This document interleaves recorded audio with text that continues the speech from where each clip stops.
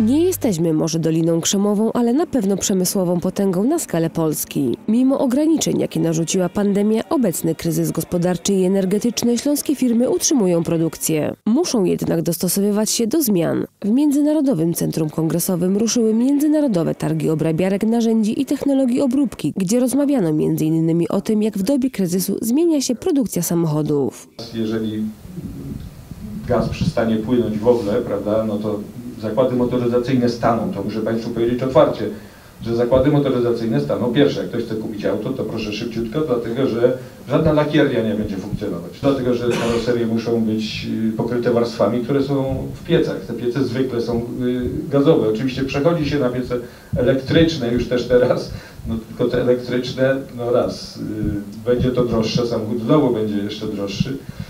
Jak podczas debaty podkreślali przedsiębiorcy, słowo klucz na dziś to totalna zmienność. Chodzi o to, jak wydarzenia na świecie wpływają na gospodarkę. Dziś przemysł stoi przed dużym wyzwaniem dostosowania się do globalnych zmian. Mamy kilka takich y, kamieni milowych. Pierwszy, mamy jedno miejsce prawdy. W tej chwili już nie mamy kilku prognoz o różnych y, współczynnikach zmieniających y, w poszczególnych działach, tylko mamy jednakową wartość sprzedaży, czy jednakową wartość kosztów.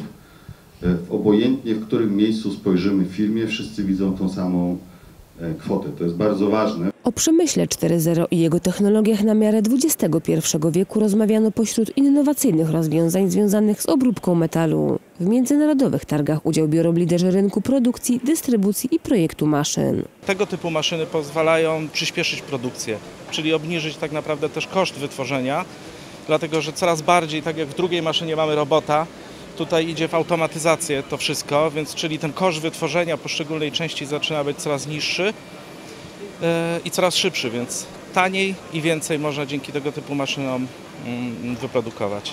Na co duże zakłady produkcyjne dziś zwracają szczególną uwagę, chcąc obniżyć koszty. Ponadto pełna automatyzacja, integracja inteligentnych maszyn i cyfryzacja przemysłu to procesy charakterystyczne dla podejmowanej tematyki przemysłu 4.0.